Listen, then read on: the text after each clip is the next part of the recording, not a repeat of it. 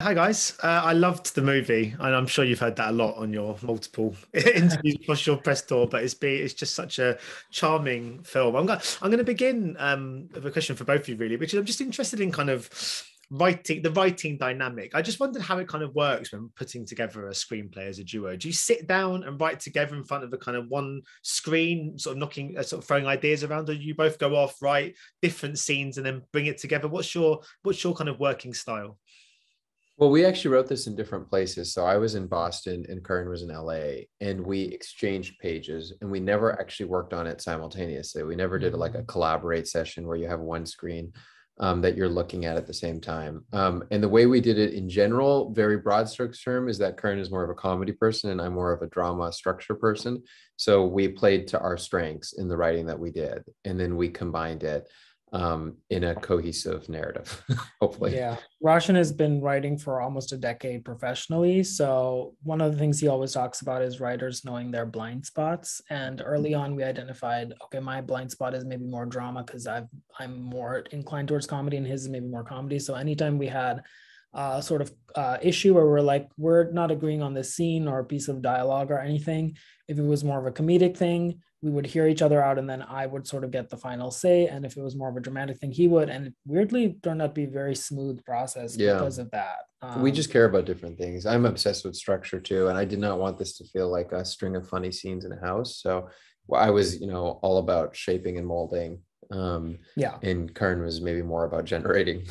So we figured it we figured it out between the two of us. But we you know we're a couple too romantic couple. So it, it was interesting to write together which we had actually um, experimented with before but never like this. Um, and uh, we wrote this very quickly and with literally no conflict.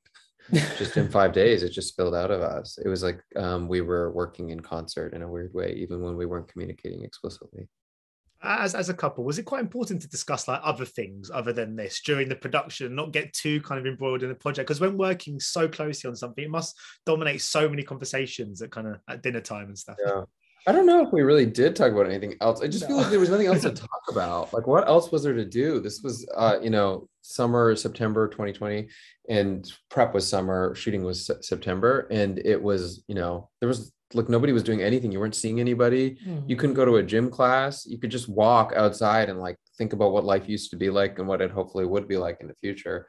And that was really the reason that the movie came into existence is out of all of that frustration and and sense of arrested development installing that everyone felt. So yeah. we were delighted to have this to talk about I will say when we were shooting, we were so fried from filming every day that we did unwind by watching Selling Sunset in yeah. our Airbnb. yeah, we finished the entire season. Yeah, and it really saved our brains uh, to just shut off and watch um, LA real estate. You know, yeah, highly recommend. but uh, Karan, did you did you always know when um, when writing this that it would be yourself playing uh, playing Ravi?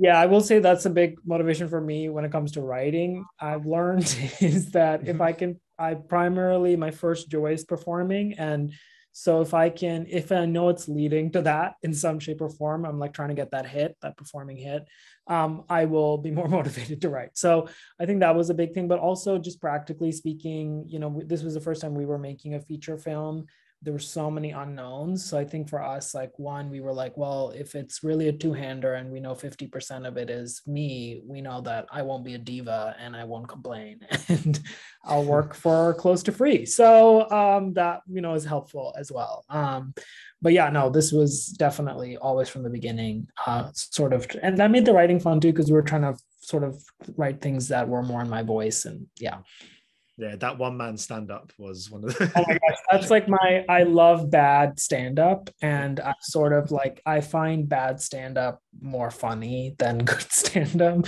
and that was like early on. I was like, we have to have a scene where like there's really bad stand up, like he loves stand up and he's so bad at it, and that was really fun to write. Just bad jokes. so how did um, Geraldine uh, come on board, and what made her the perfect Rita? Yeah, we have known each other since 2017. We are on a t- uh, TV show together called Miracle Workers with the British heartthrob Daniel Radcliffe. Um, and um, so we basically uh, have known each other for a while and we were writing it with her in mind. And we didn't know if she would want to do it or or whatever. And then she was the first person we sent it to and she read it very quickly and said yes. And we really didn't have a plan b. So we were really happy that she agreed to do it because she brings so much to it yeah. Of course, you, you mentioned you guys sort of go back. I mean, you hear of actors who uh, hate each other, having to pretend to be in love on screen. But but you and Geraldine are good friends. Did that make the opposite quite tricky? The scenes where the characters weren't clicking, because I get I always feel like faking chemistry almost seems easier than ridding yourself of it. If that makes sense. really good question. No one has asked that question. Um, yeah, I think uh, uh, yeah, that was actually now that I think about it, I was a little bit nervous about uh, mm-hmm. in the beginning it feeling like i'm too comfortable with her i guess like because we were also like staying in the same airbnb and like hanging out all the time and have known each other. And so i that was like at the back of my mind like always to be like you don't know this person and you're really uncomfortable. But it made the other side of it easier yeah. But um she's so good that once she was sort of in the scene with you you just you just play off of that energy i think do you think there are shades of both characters in both of you? I feel like we're all a sort of sort of an amalgamation of Rita and Ravi. yeah, I think when you write characters, you often write in extreme broad strokes, and you have to. And people always want subtlety out of character, but in the beginning, you really can't be. Otherwise, people won't grasp it. So you have to write in a simpler way than reflects the reality of how we are and how we interact with each other but yeah, the the car- the character that Karan plays is more or less an exaggerated version of him, especially early on in our relationship um, where he was more uh, eager, enthusiastic, and more of the driving force. Thirsty. Uh, thirsty. He was really thirsty. Mm-hmm. And then uh, Rita is much more me, especially in the beginning, mm-hmm. um, where she was more withdrawn um, and less, frankly, open to love. But uh, over the course of the movie, of course, it's revealed that she is more tenderhearted than she first let on, which was the case for me too over the course of our relationship. And now I trail behind Karan like a lost puppy. But in the beginning, you know, it was like, Karan weeping while expressing his love while I just stared at him stone faced. So we've really come, we've kind of reversed. One of the things I was sort of interested in looking at watching this is do you think that traditionalism to some degree is sort of slowly fading? It see, feels like the, the world now has far more Ritas than we do Ravis. And with each passing generation, it does feel like some of those old fashioned values will be lost, which in some cases is, is not the worst thing in the world. But do you feel like as we as we progress through this world that, that, that some of the the, the, the, Ravis of the world are becoming more and more sort of um, rare, I suppose. Yeah. Well, there's tradition in a broader sense and tradition in a culturally specific sense. But for the former, I do think that tradition more or less is going out the window because our world has just changed so utterly and we're um, we're all adjusting to that. And then in the cultural sense, you know, our parents moved here from India, hoping to keep their culture alive. And they more or less, I think, are fa- facing pretty doomed prospects because mm-hmm. you can't keep something as specific as Indian cultural life in America, not the way I think that they originally planned. Many of us who are the children of first generation immigrants do not know the language. We can understand it, but we can't speak it. We don't know all of the customs or the rituals. And so it's going to fade with time i think whether anyone likes it or not. Um, i think it's going to disappear a little bit into the melting pot of america which has happened to many other communities italian americans irish americans. Some of it will survive but why even think that about in, in sort of UK? You look back at old footage, everyone flying their Union Jack flags, and when the Queen comes out, everyone goes crazy. And now everyone my age, you say anything about the monarchy, and they kind of roll their eyes. And you just think, as we sort of move forward, just so many yeah, things just slowly getting more lost as we progress. I didn't know that was changing um, yeah. the perspective towards the monarchy, mm. but um, yeah, it's um, maybe we're just more cynical. yeah. I don't know. But uh, how important is it though when when you are displaying cultural traditions in like like arranged marriages to do so without judgment, irrespective of your own thoughts? There's a sensitivity, isn't there, when it comes to tradition, and you have to be quite delicate, I suppose, when you when you re- reflect that in, in in cinema as an art form. Yeah, it's interesting for us. We didn't think too much about it because we both come from arranged marriages. So to us, like we felt like, or maybe I'll speak for myself, but like the representation of it in Hollywood was so one sided and it almost felt like barbaric. And I was like, I don't know if this is all like true because we had seen so many examples of it working. And uh, to us, like, you know, it's just a different way of looking at love, which is that instead of like love at first sight, that doesn't really exist. It's more like you figure out the practical stuff first like do your families get along which in indian culture is so important. You can't really be married without your families in some way like mingling. Um, so it's like once that's figured out then you can almost like you have permission to fall in love. And so we just were like we just this feels like a fresh thing we haven't really seen. And um, yeah i don't think we over analyzed it too much. No yeah but there was definitely a desire to show the legitimacy of arranged marriage because i do think we have seen many of our relatives and our own parents fall in love in ways that i think the west would find really crazy mm-hmm. um, because they just had to love each other. They just had to. The way you have to love your brother or your sister no matter who they are you have to love your husband or your wife. And in many ways it works as uh, psychotic as that sounds. so instead of the Western view of love as something that is almost as if it ha- love happens to you, you are struck by lightning in the presence of the one person with whom you are compatible. The Eastern or the Indian, at least, view of love is that it's something that you build practically over time with another person who is hopefully pretty much, you know, of the same background. Um, so they're they're very different ways of falling in love, but one isn't more legitimate than the other, and one isn't more psychotic than the other. But they're mm-hmm. both like uh, they're both um, pretty unreasonable when you think about it. Mm-hmm. But I think we think too often of love as something that is like special and has to be found rather than built and maintained every single day as we do in our own relationship. Yeah, well, I mean, you mentioned the way it can be sort of depicted in in, in Hollywood and kind of Western sort of cinema and in, art. And I mean, but there's, I mean, when it comes to representation, there is a problem, obviously, in Hollywood with ensuring authentic depictions of of, of different cultures from around the world. Is that what, what, partly what makes it good when you guys write together? Is you get to write and just go, look, we're we're not taking a script and really flicking through it, going, oh my god, no, you know, a character like this. You get to go, this is who we are, and this is the this is how this is the life, this is the people we know, and the life that we know, and we're telling it to you. Is that is that something that drives you when you when you tell stories? Is to say to, to do so from a, a point of authenticity, I suppose.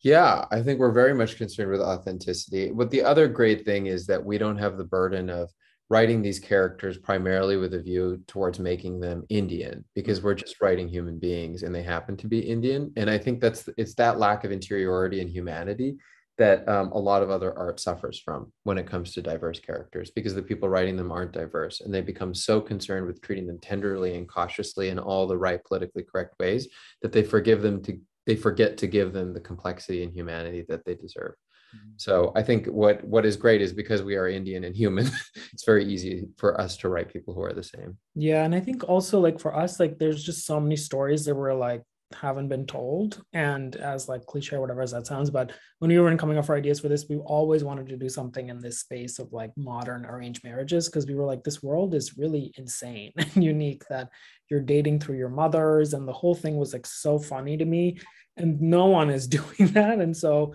we are always like there's so many stories there's so many things that we've experienced that have just not translated in american movies um, and so it's always exciting to even explore that to be like this feels fresh and original and and ever since crazy rich asians you know there's been this like quest to pull back the curtain on some grand new cultural vista when the truth is that we're all pretty much the same and our stories and our concerns are pretty much the same too. In crazy rich asians it's obviously about getting her mother-in-law's approval which is a story that is not specific to asian culture um, and i hope that's the case for Seven Days too. Uh, whatever the specifics are it's all the same story.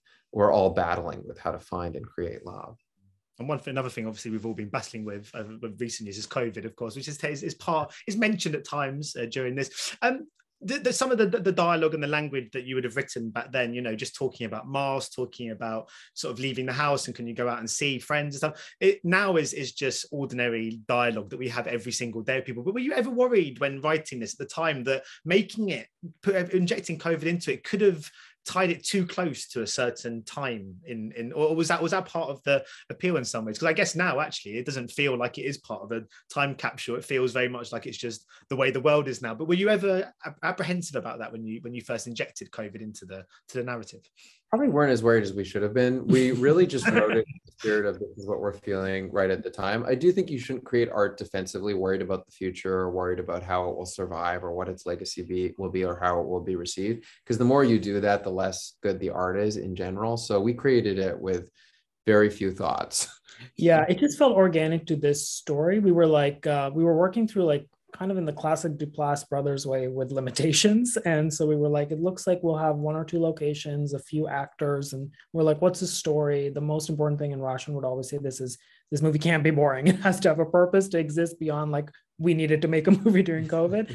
and um, and so we were like, what is the story that excites us? And then it sort of became more and more like these two mismatched people who met on this website. And then we were like, why would they not just go out into the world? And then it organically became like, what if it is COVID? And like, then what does that mean? Like they're forced to sort of re-examine their lives, like a lot of us have, and it just so organically fit in.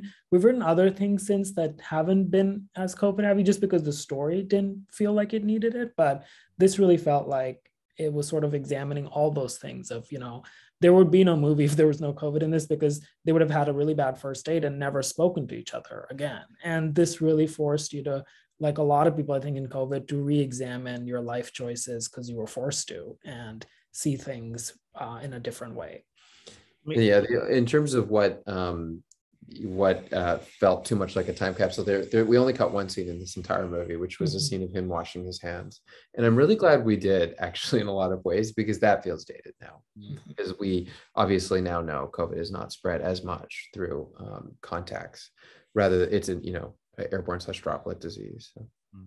Yeah, it's fine. I, I don't just on, on this. I've actually got COVID at the moment. Funny enough.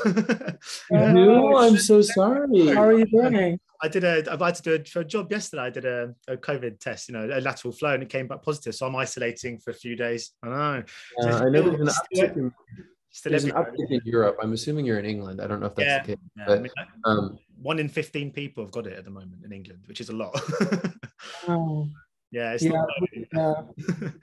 um, we both had a similar thing where we ended up just testing for something and then it came positive in January. So yeah. Yeah. It's partly why some of these Zoom interviews are good because it means I can still do this. If this was in person today, I would have had to cancelled. But um, I was, was going to, uh, obviously, you mentioned the Duplass brothers uh, just before. I mean, they, there's, I, I, mean, I still think Jeff, Who Lives at Home is one of my favorite films of the last sort of 20 years. But that kind of mumblecore style felt like a bit of a kind of movement, but it's had a really lasting effect, hasn't it? Do you think that they were part of a style that, that, that we see in Seven Days? It's actually changed the whole face of, of filmmaking, um, indie filmmaking, sorry, in America. Yeah, I think mumblecore when it originated was a movement against the studio films of the day and the idea that you couldn't tell human stories in mm-hmm. modest circumstances. Um, and that spirit remains very much alive, including in this movie. And mumblecore has had many imitators, some successful and some not. And I think when it doesn't work, it's because there is no story. So it's not enough for people to mumble in a room. Um, it has to be, you know, there something has to happen. It has to be like a play. Yeah. Sorry. You know. Mm. I, am not one for needless sequels, but I really want to spend more time with these two. Have you have you even had any conversations about doing something again with with these two characters, even if it's just a kind of something on YouTube or something? I, I, I mean, obviously, I know sometimes things are better just left as they are, but the second this movie finished, I was like, I just want to go back in that room with them. You could have made this film called 14 Days. I would have been more than happy, honestly. Yeah. well, has some ideas. He always yeah, has ideas. I always have just random plans because nobody is clamoring for a sequel at the moment. But if we did one, I would love to do the first week of them bringing their newborn home because that week is obviously quite fraught for a lot of reasons. And then I would love to do the first week of um, them signing their divorce papers. yeah, yeah, maybe get them cooking again. I, was, I mean, that yeah. did like the doesn't mean they get divorced, but yeah, yeah, I did like the worst pasta dish I've I've ever seen yeah, with my own eyes. What what what, what would you what would you? that was so gross. Oh yeah. my gosh. What, what would be your signature dish if you guys had to if you had if you had someone around that you had to cook for? What would you what would you cook for them? Well, I'd love to hear his answer. Yeah, because Karan's a cook. Yeah, I I do cook uh, as much as I can. Um, but yeah, Italian food is like my because I just know I can do a good job. I stopped eating meat a few years ago, but I used to like spaghetti and meatballs was like my big thing. But I would do like beyond meatballs now. Mm. But uh, what's yours? well, I don't make anything. Yeah, so the only thing I do is I put cheese, a slice of cheese on a slice of bread right at the fridge, and then I eat it there at the fridge. That's literally the most I've ever manufactured anything. But I couldn't do anything beyond that. I can make porridge from instant oatmeal. I can. I don't know what can I make. Yeah, I think that's pretty. melt cheese on bread sometimes. Yeah, but I would have nothing. I would have absolutely nothing to offer, and I would just offer my mind and my companionship rather Well- than a- that's not enough. Not the right person. You'd be the snack. You're the physical Yeah. snack. Yeah, Your full meal. I would say that. yeah, yeah, yeah. my uh, my final question, Roshan, if you're not necessarily uh, is being a chef is not going to be another career for you. I was reading that you are a physician too. As well. Are you still working both jobs, or have you now taken up filmmaking Yes. and writing So- full time? Yeah, I still work in both jobs. I work as a doctor for nine weeks of the year at Brigham and Women's Hospital, Dana Farber Cancer Institute, um, and I do palliative uh, radiation oncology. I do that, like I said, for nine weeks, and the rest of the year, I'm writing or directing. Wow, incredible! Wow, it's amazing what you guys do. And I like if, if you do ever make this film about that first week with the newborn, then um, yeah, hopefully I'll get to speak to you again. Who knows? yeah, exactly. Thank you for wanting to see that. no, no, it's really, it sounds great. Anyway, thank you so much for your time today, guys. Best luck with the rest with the release of the movie, and uh, yeah, maybe we'll catch up again one day. Who knows? Yeah, and I hope you have a quick and easy recovery. Yeah, me too. I feel, as you can see, I feel, I feel all right. So I think it's just a matter of staying indoors and not getting too, not going too stir crazy. But I'll be fine. I've been here before. Yeah. I know. Feel better. yeah. but take care, guys. Bye bye. Ladies and gentlemen, you're watching Hey You Guys! Hey, you guys, huh? Hey, you guys. Is that from the Goonies? It is indeed, yeah. Nice. Hey, you guys!